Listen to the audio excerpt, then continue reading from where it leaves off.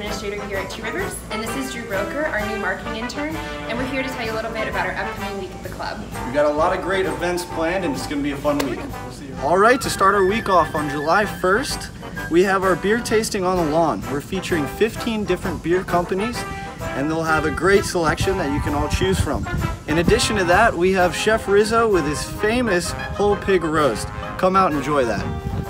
On Wednesday, July 4th, we will have our Governor's Land 4th of July Parade. Um, it will begin at Founders Way. Everyone will begin to gather at 10.30. The parade will begin at 11 and proceed to the club.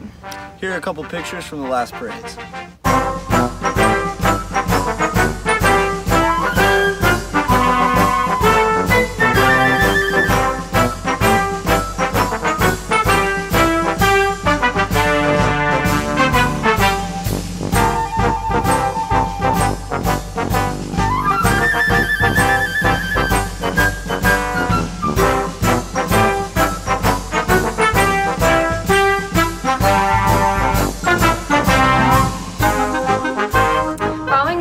From 11.30 to 3, we will host our children's art show here in the Governor's Room, where we will provide lemonade and cookies for the kids.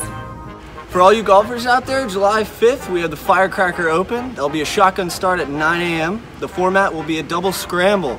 $35, that includes lunch and prizes after for all you winners. Join us on Friday, July 6th for our Independence Day event.